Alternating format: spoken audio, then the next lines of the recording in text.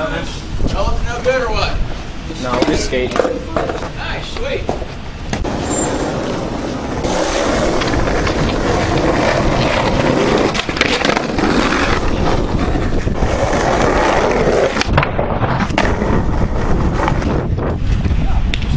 What do they make these out of? Is this like a laminate on the bottom? Seven layers.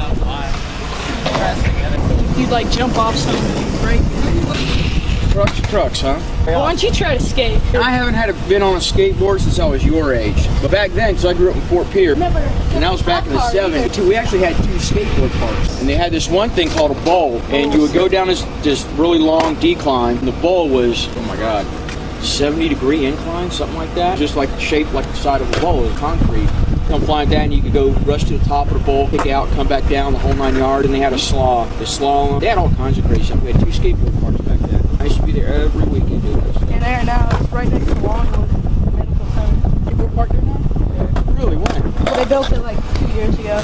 Any but good? like, Yeah, it's actually really good. yeah, like, Yeah. like you have to get a membership, Most and if you're smash from it. out of St. Lucie County, it's 20 bucks, and you have to have a card with your picture on it and a helmet Yeah. at all times. Do these guys know if you're out here?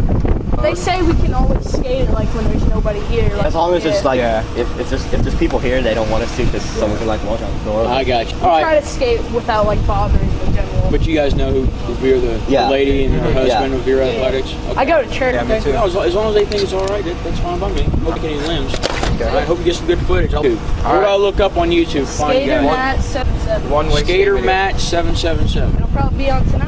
I'll check it out. All right. You guys have a good Let's go vandalize that truck over there.